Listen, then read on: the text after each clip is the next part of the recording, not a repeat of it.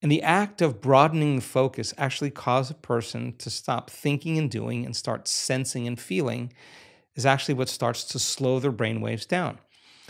The redundancy of shifting your attention from one person to another person to another problem to another thing causes the brain to fire like a lightning storm in the clouds very incoherently. So, as you start to open your awareness and sense nothing, we've, we've seen this thousands of times, those different networks that are firing out of order start to synchronize.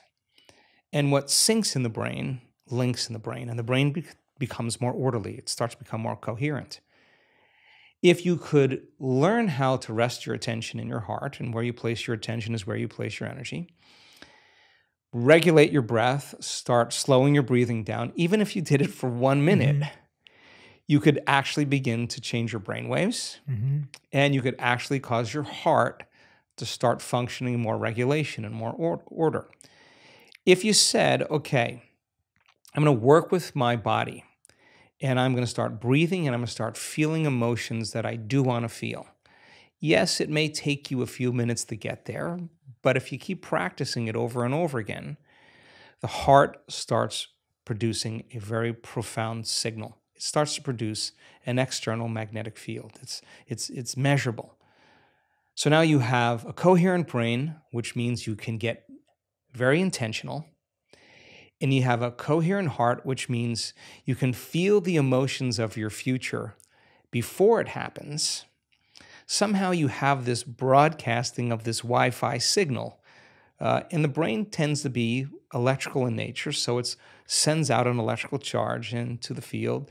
The heart is the magnetic charge, it's what draws things to us. It's the it's the magnetic field. And now you actually by changing the way you think and the way you feel, you're changing the signal in the field. And if you're able to maintain that state for an extended period of time, I say something magical is going to happen in your life something unusual, some unknown experience is going to occur.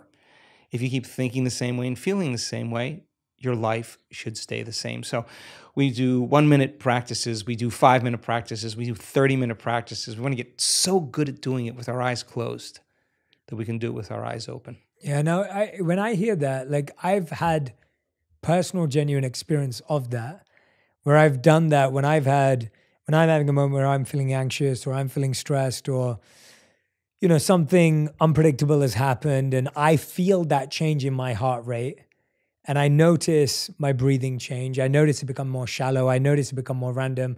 I know that when I'm practicing breath work, I'm able to come back to stillness. I'm able to come back to that sense of balance. And then I'm able to actually approach the issue at hand with more clarity, with more connectedness and a feeling of confidence.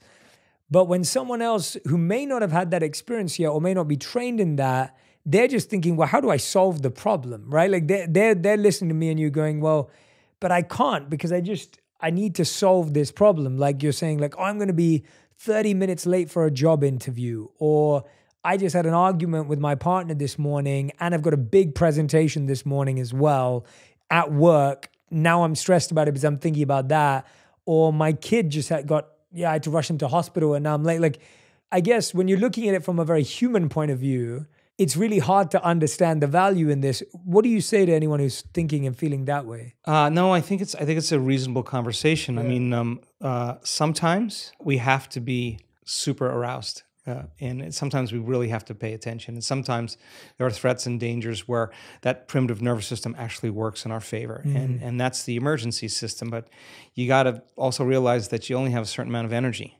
Mm. And if you're living in emergency mode for an extended period of time, there's no energy for growth and that's repair, right. there's no energy for long term building projects. And so when it's needed uh, and you have to outrun the predator, you go. Yeah. You don't sit and try to make friends with the predator. We're not that good. you, you, run, right? Yeah. The problem is if you keep that alarm system switched on all the time, it gets very addictive. It's a great answer. Yeah. It gets very addictive, right? And so I've looked at people's brain scans uh, and watch their brain get worse in the early days and tap them on the head and say, What were you doing in there? 100% of the time, they were analyzing the problems in their life within that disturbing emotion.